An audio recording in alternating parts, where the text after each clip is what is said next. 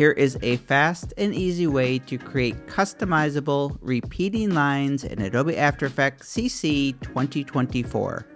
The Repeating Lines animation preset is available in version 24.5.0 or later. Go to the Effects and Presets panel and twirl open Animation Presets, then Presets, Shapes, Elements, and there you will find Repeating Lines.